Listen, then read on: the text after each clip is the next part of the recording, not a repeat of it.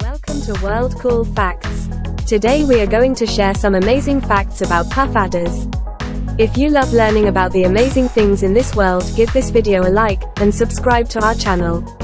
We hope you enjoy. Puff adders are a group of venomous snakes found throughout Africa and the Middle East.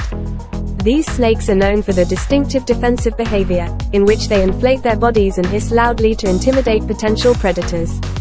Here are 5 interesting true facts about puff adders.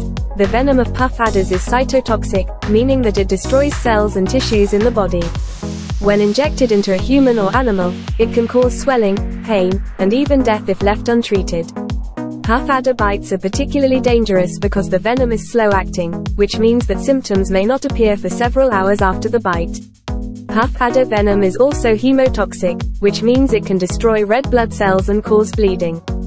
Puff adders are nocturnal hunters that typically lie in wait for prey to come within striking distance. They use their cryptic coloration to blend in with their surroundings, making them difficult for both predators and prey to spot. Puff adders have a unique way of striking at their prey. They do not fully extend their fangs but instead strike with a short, quick motion that delivers a powerful bite.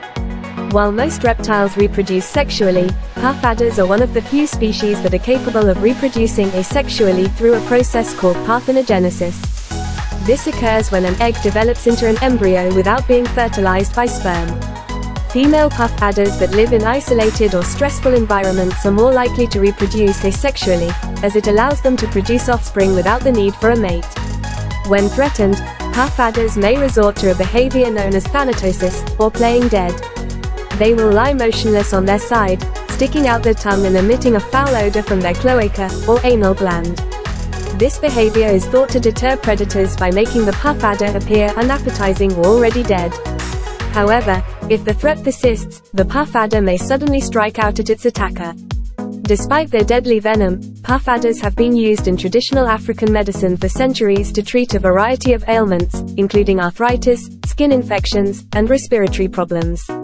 The venom is typically administered in small doses, either topically or orally, and is believed to have anti-inflammatory and analgesic properties. However, the use of puff adder venom in traditional medicine is controversial, as it can be dangerous if not used properly. In conclusion, puff adders are fascinating and formidable creatures with a range of unique adaptations and behaviors. From their potent venom to their cryptic coloration and asexual reproduction, these snakes continue to capture the interest of scientists and nature enthusiasts alike. However, it is important to remember that puff adders are dangerous animals that should be treated with caution and respect.